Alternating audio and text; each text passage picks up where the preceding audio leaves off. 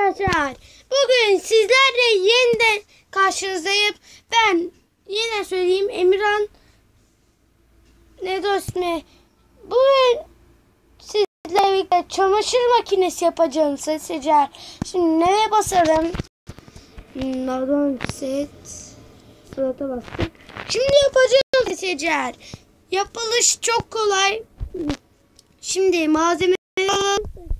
Buradan bir tane kaldron, kaldron. Ondan sonra buradan bir tane tahta alın. Koyacağım şimdi ben böyle.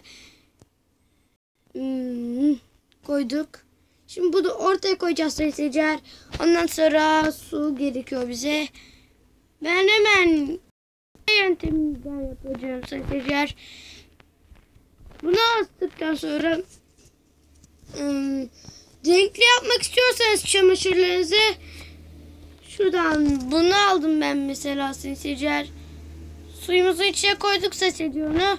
Şimdi pantolon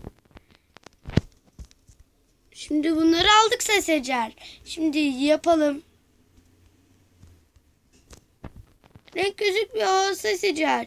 Gördüğünüz gibi renkleri biraz değişti. Bir de maviyle gösteriyor ses eder şu yöntemü size. Maviyle güzel olur bence. Çünkü hiç denemedim maviyle ses eder.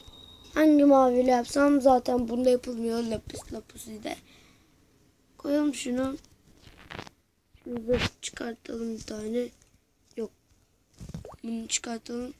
Şimdi yaptık. Bakın seseceğim mavi oldu. Daha yapabiliyoruz. Hoppa. Bu da mavi oldu seseceğim. Gördüğünüz gibi böyle. Ha, şimdi bütün renklerle göstereceğim göstereceğim size. Bir kez daha suyu alıyoruz. Koyuyoruz. Daha su. Ondan sonra başka bir şey daha koyuyorduk. Heh bu. Ondan sonra şunu koyacağız. Nerede şunu? Bunu koyduktan sonra. Gördüğünüz gibi böyle böyle. Lappa lappa lappa lappa lappa lappa. Bozmayayım saçacağız. Şimdi bunu gördüğünüz gibi böyle saçacağız. Bir dahaki videoda görüşmek üzere. Görüşürüz saçacağız. Abone, bana.